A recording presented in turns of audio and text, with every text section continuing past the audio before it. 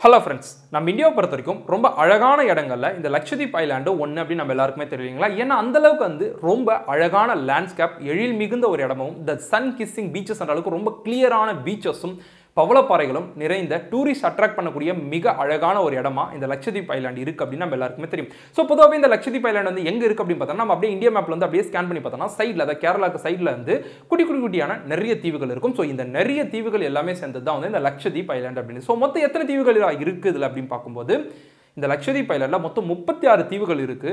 ஆனால் இந்த முப்பத்தி ஆறில் ஒரு தீவு பார்லி அப்படின்னு கூடிய அந்த தீவு என்னாச்சு அப்படின்னா கடலுக்குள்ள மூழ்கி போச்சு. ஸோ இப்போ கரண்ட்லி வந்து தேர்ட்டி ஃபைவ் ஐலாண்ட்ஸ் தான் இருக்கு இந்த லட்சதீப் ஐலாண்டில் ஸோ இந்த லட்சதீப் ஐலாண்டில் தேர்ட்டி ஃபைவ் ஐலாண்ட்ஸ் இருந்தாலும் இதில் வெறும் பத்து ஐலாண்டில் தான் மனிதர்கள் வசிக்கிறார்கள் அப்படின்ற ஒரு விஷயம் நம்ம தெரிஞ்சுக்கணும். ஸோ இவ்வளோ அழகான இவ்வளவு தீவுகள் இருக்கக்கூடிய அந்த லட்சதீப் ஐலாண்டுடைய மொத்த பரப்பளவு அதாவது மொத்த தீவுகளுடைய பரப்பளவு ஒன்று சேர்த்தா எவ்வளோ தூரம் அப்படின்னு பார்த்தோன்னா வெறும் முப்பத்தி ரெண்டு ஸ்கொயர் கிலோமீட்டர் தான். ஸோ இப்போ யோசிச்சு பாருங்க அப்போ எந்த அளவுக்கு வந்து இது குட்டி குட்டி குட்டியான ஐலாண்ட்ஸ் இருக்கும் அப்படின்றது. ஸோ அந்த அளவுக்கு குட்டி குட்டியான ஐலாண்ட்ஸில் வசிக்கக்கூடிய அந்த ஒரு மக்களுடைய தொகை மக்கள் தொகை பார்த்தோம் அப்படின்னா வெறும் அறுபத்தி ஆறாயிரம் பேர் தான் இருக்காங்க அப்படின்ற ஒரு விஷயம் வந்து நம்ம கண்டிப்பாக தெரிஞ்சுக்கணும். அண்ட் இதில் பர்டிகுலராக பார்த்தோம் அப்படின்னா நைன்டி செவன் பர்சன்டேஜ் வந்து இஸ்லாமியர்கள் அதாவது முஸ்லீம் மக்கள் தான் இருக்காங்க அப்படின்றதையும் நம்ம முதல்ல நல்லா புரிஞ்சுக்கணும். ஸோ இது கூடவே உலகம் ஃபுல்லாக இந்த கொரோனா வைரஸுடைய தாக்கம் வந்து ரொம்ப அதிக அளவில் இருந்தாலும் இந்த லட்சதீப் ஐலாண்டில் கிட்டத்தட்ட அறுபத்தி ஆறாயிரம் பேர் வசிக்கக்கூடிய அந்த ஒரு இடத்துல பார்த்தோம் அப்படின்னா ஈவன் ஒரே ஒரு கேஸ் கூட ஜான்வரி மாதம் வரைக்கும் வந்து அதாவது January two thousand twenty one வரைக்கும் ஒரே ஒரு பாசிட்டிவ் கேஸோட அந்த இடத்துல வந்து ரிஜிஸ்டர் ஆகலை அப்படின்ற விஷயம் வந்து நம்ம தெரிஞ்சுக்கணும். சரி எதுக்காக லட்சதீப்பை பற்றி இவ்வளோ விஷயங்கள் சொல்லிட்டு அதை தெரிஞ்சுக்கோ புரிஞ்சுக்கோ அப்படின்னு சொல்கிறேன் அப்படின்னா இப்போ இருக்கிற இந்த சுச்சுவேஷனில் லட்சதீப்பில் ஒரு மிகப்பெரிய போராட்டம் அப்படின்றதே வந்து மக்களிடையே நடந்துட்டுருக்கு. அண்ட் அந்த போராட்டங்கள் எல்லாமே ஹேஷ்டாக் சேவ் லட்சதீப் அப்படின்ட்டு வந்து பயங்கரமாக ட்ரெண்டாக்கவும் பட்டுட்ருக்கு ஸோ அந்தளவுக்கு இந்த அழகான லட்சதீப்பில் வந்து அப்படி என்ன தான் பிரச்சனை அப்படின்றத பற்றி தான் நம்ம இதில் பார்க்க போகிறோம் அண்ட் இந்த பிரச்சனைலாம் யாரால உண்டாச்சு அப்படின்ற ஒரு விஷயத்தையும் நம்ம பார்க்க போகிறோம் ஸோ இந்த வீடியோ வந்து கண்டிப்பாக நம்ம பார்க்க வேண்டிய தெரிஞ்சுக்க வேண்டிய ஒரு விஷயம் அப்படின்றதால இந்த வீடியோ வந்து கடைசி வரையும் பாருங்க. மறக்காம இந்த வீடியோ ஃபுல்லாக பார்த்துட்டு உங்க ஃப்ரெண்ட்ஸோட ஷேர் பண்ணுங்க. அண்ட் எல்லாத்துமே முன்னாடி நீங்கள் இன்னும் சேனல் சப்ஸ்கிரைப் பண்ணல அப்படின்னா கீழே சப்ஸ்கிரைப் பண்ண. ப்ரெஸ் பண்ணிட்டு வளர்க்க பெல் ஐக்கனையும் ப்ரெஸ் பண்ணுங்க.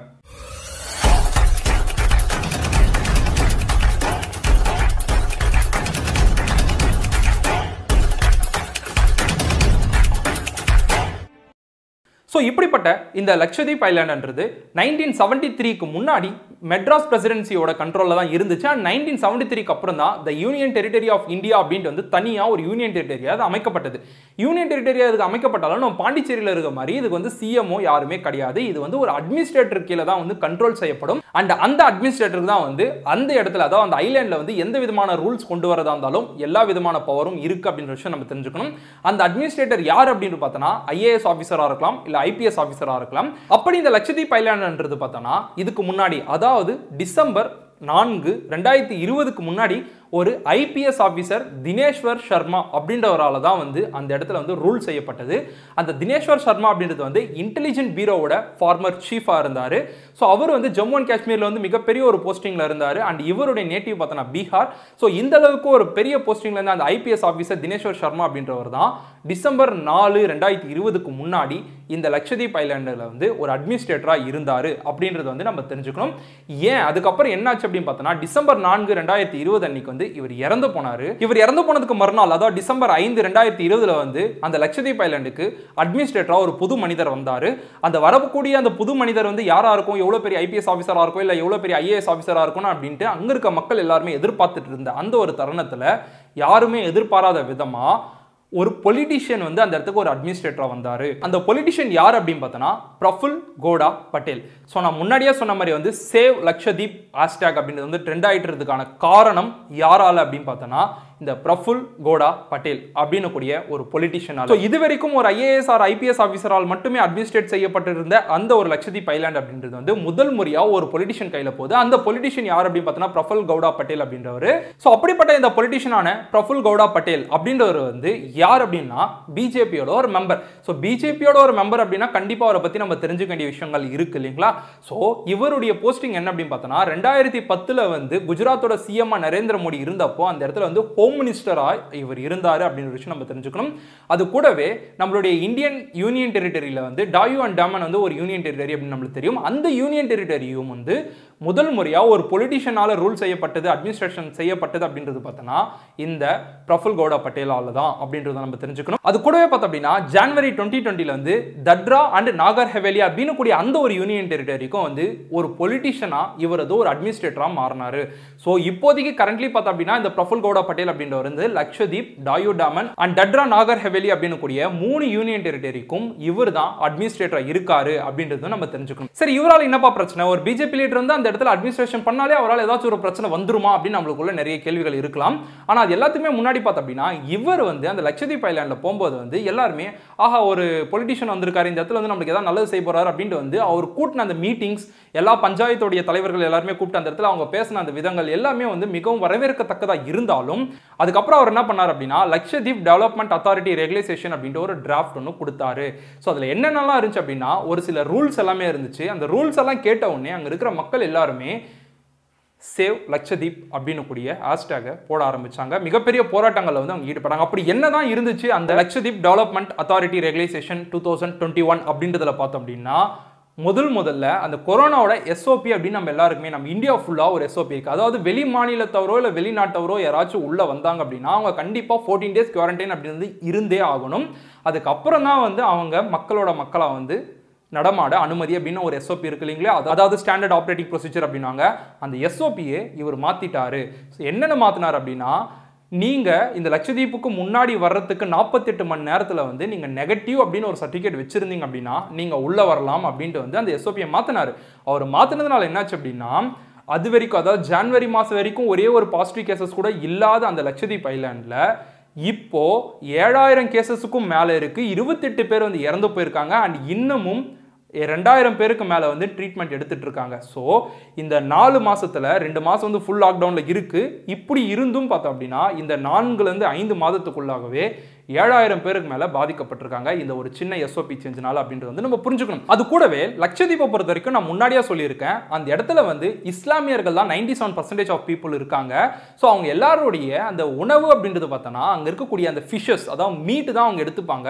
அதில் பர்டிகுலராக ஃபிஷ்ஷஸும் அந்த இடத்துல பீஃபும் தான் வந்து அதிகமாக எடுத்துப்பாங்க. ஏன் அப்படின்னு கேட்டோன்னா இங்கே வந்த மக்கள் எல்லாருமே வந்து அந்த சேரர்களுடைய காலத்தில் வந்து வந்தவங்க அப்படின்னு சொல்கிறாங்க அண்ட் இந்த சேரர்கள் ஆண்ட அந்த பகுதி அப்படின்னு பார்த்தோன்னா கேரளா அந்த கேரளாவில் வந்து அவங்க மோஸ்ட்லி பீஃப் சாப்பிட்ற மாதிரியே இங்கே இருக்கிற மக்களும் வந்து அதிகமாக பீஃப் சாப்பிடுவாங்க. அது கூடவே இங்கே இருக்கிற மக்கள் பேசக்கூடிய மொழி அப்படின்றது பார்த்தோன்னா மலையாளம். ஸோ கேரளாக்கும் இந்த லட்சத்தீவுக்கும் மிகப்பெரிய ஒரு கனெக்ஷன் அப்படின்றது ஒன்று இருக்குது அதுவும் இல்லாமல் வெறும் இரநூறு கிலோமீட்டர் தூரத்துலேயே தான் வந்து கேரளா வந்து இவங்களுக்கு இருக்குது அப்படின்ற ஒரு விஷயம் நம்ம தெரிஞ்சுக்கணும். ஸோ இப்படிப்பட்ட இஸ்லாமியர்கள் இருக்கக்கூடிய அந்த ஒரு இடத்துல வந்து இந்த மீட் பீஃப் சாப்பிட்றது ஃபிஷ் சாப்பிட்றது இது எல்லாமே இருந்தாலும் லட்சதீப் அனிமல் ப்ரசர்வேஷன் ரெகுலேஷன் அப்படின்ற ஒரு ஆக்டுக்கில் என்ன பண்ணார் அப்படின்னா இங்கிருந்து பீஃப் வந்து எக்ஸ்போர்ட் பண்ணுறதோ இல்லை இம்போர்ட் பண்ணுறதோ இல்லை அங்கே இருக்க ஸ்கூலில் கொடுக்கக்கூடிய மதியம் மீல்ஸில் வந்து ஃபிஷ் அதாவது நான் வெஜிடேரியன் வந்து ஆட் பண்ணுறதோ இது எல்லாமே குற்றம். இதை மீறினால் வந்து ஒரு லட்சத்துலேருந்து அஞ்சு லட்சம் வரையும் வந்து உங்களுக்கான தண்டனை அப்படின்றது கொடுக்கப்படும். பத்து வருடங்கள் அப்படின்றது பார்த்தோன்னா உங்களுக்கான ஜெயில் தண்டனை அப்படின்றது வந்து கொடுக்கப்படும் அப்படின்றது வந்து அவர் சொல்லியிருக்காங்க. இது ஒரு பக்கம் இருந்தாலும் இதுக்கு முன்னாடி ஃபார் எக்ஸாம்பிள் வந்து நம்ம ஜம்மு அண்ட் காஷ்மீர் எடுத்துக்கலாமே. இந்த ஜம்மு அண்ட் காஷ்மீரில் என்ன பண்ணாங்க அப்படின்னா அந்த இடத்துல இருக்கவங்க மட்டுமே என்ன பண்ணாங்க அப்படின்னா நிலத்தை வாங்கவோ விற்கவோ செய்வாங்க. வெளி மாநிலத்திலேருந்து போயிட்டு யாருமே அந்த இடத்துல வந்து நிலத்தை வாங்கவும் மாட்டாங்க. அண்ட் வெளி மாநிலத்தவருக்கு யாருக்குமே அந்த நிலத்தை விற்கவே மாட்டாங்க. அதே மாதிரி தான் இந்த லட்சதீப் ஐலாண்டையும் என்ன பண்ணாங்க அப்படின்னா அங்கே இருக்கிற மக்களுக்கு மட்டுமே இந்த நிலங்கள் அப்படின்றது வந்து விற்கப்படும் இல்லை வாங்கப்படும். அது விட்டு வெளி மாநிலத்திலேருந்தோ இல்லை வெளிநாட்டிலேருந்தோ யார் வந்தாலும் அங்கே இருக்கக்கூடிய அந்த நிலம் அப்படின்னு வந்து விற்க மாட்டாங்க. ஏன் அப்படின்னா அவங்க வந்து தவறாக பயன்படுத்திப்பாங்க. இங்கே இருக்கிற மக்கள் வந்து ஆல்ரெடி பழங்குடியினர். அங்கே இருக்கிற அந்த இயற்கை சூழலுக்கு ஏற்ற மாதிரி வந்து அவங்க இடத்த எல்லாத்தையுமே அவங்க வச்சுருக்காங்க. ரொம்ப அழகாக அது எல்லாத்தையுமே மாறிடும் அப்படின்றதுனால என்ன பண்ணாங்க அப்படின்னா வெளி மாநிலத்தவரோ இல்லை வெளிநாட்டவரோ யார் வந்தாலும் அங்கே இருக்கக்கூடிய அந்த நிலங்கள் எதுவுமே விற்பனை செய்ய மாட்டாங்க. ஆனால் அந்த ஒரு ரூலை வந்து பிரேக் பண்ணாரு. சரி இதெல்லாம் ஒரு பக்கம் இருந்தாலும் அங்கே இருக்கக்கூடிய அந்த மக்கள் வந்து ஒரு பிரதிநிதியை தேர்ந்தெடுக்கணும் அப்படின்னா அவங்க தேர்ந்தெடுக்கக்கூடிய அந்த பிரதிநிதி யார் அப்படின்னா ஒரு பஞ்சாயத்து தலைவர் மட்டும்தான். அந்த பஞ்சாயத்து தலைவருக்கான எலிஜிபிலிட்டி என்ன அப்படின்னு பார்த்தோன்னா அவங்க ரெண்டு பசங்களுக்கு மேலே இருக்கக்கூடாது. அப்படி இருந்தாங்க அப்படின்னா கரண்ட்ல இருக்கக்கூடிய அந்த பஞ்சாயத்து தலைவரையும் என்ன பண்ணுவாங்க அப்படின்னா டிஸ்மிஸ் பண்ணுவாங்க.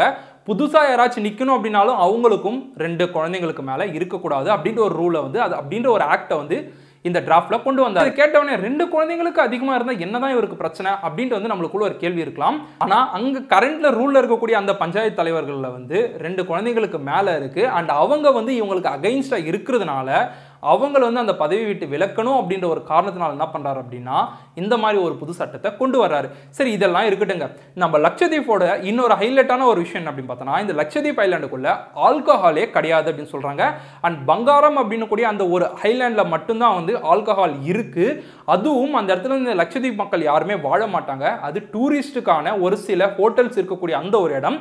அந்த ஒரு இடத்துல மட்டும்தான் வந்து இந்த ஆல்கஹால் அப்படின்றது இருக்கு. மற்ற எந்த இடத்துலையுமே ஆல்கஹாலே கிடையாது. ரொம்ப பியூரான அழகான ஒரு இடம் அப்படின்றது லட்சத்தீப் தீவுகள். ஸோ இப்படி இருக்கக்கூடிய அந்த தீவுக்குள்ள வந்து ஆல்கஹால் கொண்டு வரப்படும் அப்படின்னு சொல்லிட்டாங்க. ஸோ ஆல்கஹால் அப்படின்றது வந்து கொண்டு வரப்பட்டு இங்கே வந்து எல்லா இடத்துலையுமே இந்த ஆல்கஹால் அப்படின்றது வந்து இருக்கும் அப்படின்ற மாதிரி சொன்னாங்க. அதே மாதிரி அது கூடவே பார்த்தோம் அப்படின்னா இங்க வெளி மாநிலத்தவர் வந்து நிலம் வாங்கினாங்க அப்படின்னா அந்த நிலத்துல அவங்க என்ன வேணா பண்ணிக்கலாம். அவங்க வாங்கின அந்த நிலத்துல வந்து எவ்வளோ பெரிய பில்டிங் வேணா கட்டலாம். அந்த இடத்துல மைனிங் ஏதாவது கூட பண்ணலாம். அப்படி இல்லைன்னா அங்கே இருக்கிற மலைகளை வந்து அவங்க அழிச்சும் எது வேணா பண்ணலாம் அப்படின்றது வந்து அவங்க சொல்லியிருக்காங்க. அண்ட் இப்படி அந்த இடத்துல அழிக்கணும் இவ்வளோ பெரிய பில்டிங் கட்டணும் அப்படின்ட்டு வாங்க வர்றவங்க யாராக இருப்பாங்க அப்படின்ட்டு உங்களுக்கே புரியும் நினைக்கிறேன்.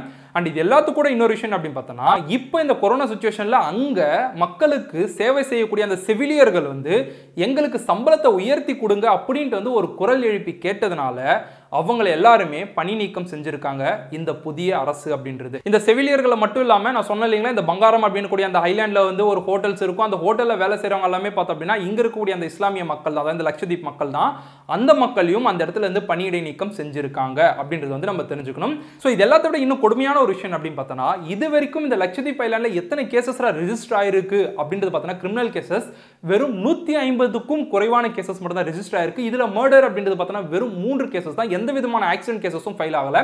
ஸோ இந்த மாதிரி ரொம்ப க்ளீனாக நீட்டாக அவங்களுக்குள்ள ஒரு ஒத்துமையாக இருக்கக்கூடிய அந்த ஒரு இடத்துல பார்த்தோம் அப்படின்னா நீ அந்த அரசாங்கத்தை எதிர்த்து ஏதாச்சும் ஒரு கேள்வி கேட்டாலோ இல்லை அரசாங்கத்துக்கு வந்து நீ பண்ணுற செயல் பிடிக்கலனாலோ உன் மீது வந்து குண்டர் சட்டம் பாயும் அப்படின்னு சொல்லிட்டாங்க. இந்த குண்டன் ஆக்ட் அப்படின்றது பார்த்தோன்னா ஒரு வருஷம் நீ ஜெயிலில் இருக்கலாம். அந்த ஒரு வருஷம் ஜெயிலில் பார்த்தோன்னா எக்காரணத்தை கொண்டு நீ கோர்ட்டுக்கு போயிட்டு பெயில் வாங்குறதோ அந்த மாதிரி எதுவுமே செய்ய முடியாது.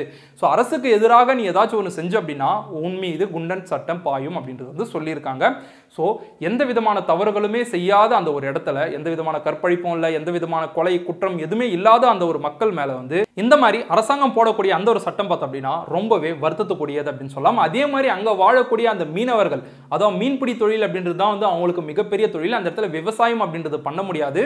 ஸோ அந்த மீன்பிடி தொழில் செய்யக்கூடிய அந்த ஒரு மீனவர்களுடைய படகுகளும் அவங்களுக்காக இருக்கக்கூடிய நிழல் கூடங்களும் அவங்களுடைய வலைகளும் எல்லாமே வந்து டெமாலிஷ் செய்யப்பட்டது அப்படின்றதையும் சொல்கிறாங்க எதுக்காக அப்படின்னா அவங்க இந்த அரசாங்கத்தை எதிர்த்து கேள்வி கேட்டாங்க. அதாவது இந்த அட்மினிஸ்ட்ரேட்டரை வந்து எதிர்த்து கேள்வி கேட்டாங்க அப்படின்ற ஒரு காரணத்தினால அப்படின்ட்டும் சொல்லப்படுது. ஸோ இந்த அளவுக்கு அங்கே நிம்மதியாக சந்தோஷமாக அழகாக வாழ்ந்துட்டு இருக்க அந்த ஒரு மக்களுக்கு மத்தியில் போயிட்டு நீ இப்படி வாழக்கூடாது உன்னுடைய உணவு முறை வந்து இப்படி இருக்கக்கூடாது அதே மாதிரி வந்து நீ மீன்பிடி தொழிலெல்லாம் செய்யக்கூடாது நீ சம்பளத்தை ஏற்றி கேட்கக்கூடாது அந்த சுத்தமாக இருக்க நீ வந்து ஆல்கஹால் அப்படின்ற ஒரு விஷயத்தை வந்து உள்ள எடுத்துட்டு வரலாம். அண்ட் யார் வேணா வந்து நிலம் வாங்கலாம் என்ன வேணா கட்டிக்கலாம் அப்படின்றதும் அண்ட் அங்க இருக்கிற இன்ஃப்ராஸ்ட்ரக்சர் வந்து டெவலப் பண்றேன். நான் வந்து ஹைவே போட போறேன் அப்படி இப்படின்னு சொல்றதும் அது கூடவே இன்னும் மிக முக்கியமான ஒரு விஷயம் அப்படின்னு பார்த்தோன்னா இத்தனை நாள் வரைக்கும் அந்த லட்சதீப் மக்கள் வந்து அவங்க கிட்ட இருக்க பொருளை வந்து எக்ஸ்போர்ட் பண்ணாலோ இம்போர்ட் பண்ணாலோ அவங்க பயன்படுத்திட்டு இருந்த அந்த போர்ட் அப்படின்னு பார்த்தோன்னா கேரளாவில் இருக்கக்கூடிய கொச்சியில் இருக்கக்கூடிய போர்ட்டை தான் அவங்க பயன்படுத்தினாங்க.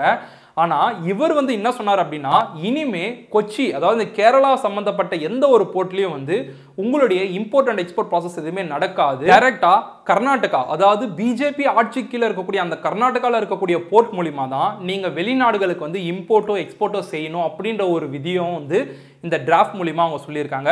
ஸோ இந்த அளவுக்கு அங்கே நிம்மதியாக வாழ்ந்துட்டு இருக்க அந்த ஒரு மக்கள் மத்தியில் வந்து இந்த மாதிரி பல்வேறு ஒரு சட்டங்களை கொண்டு வந்து அந்த இடத்துல வந்து ஒரு மிகப்பெரிய சர்வாதிகார ஆட்சியாக வந்து மா- இந்த பிரஃபுல் கோடா பட்டேல் அவரை எதிர்த்து தான் இந்த மக்கள் எல்லாருமே போராடிட்டு இருக்காங்க அண்ட் இதுதான் அங்கே நடந்துட்டு இருக்க அந்த விஷயம். இது மட்டும் இல்லாமல் இன்னும் நிறைய விஷயங்களும் அந்த இடத்துல வந்து இந்த கவர்மெண்ட்னால நடந்துட்டு தான் இருக்கு. ஸோ இதுலேருந்து விடிவு பெறுமா இந்த லட்சதீப் அப்படின்றது மீண்டும் அழகு பெறுமா? இந்த மாதிரியான ரூல்ஸ்லேருந்து அவங்க மீளுவாங்களா?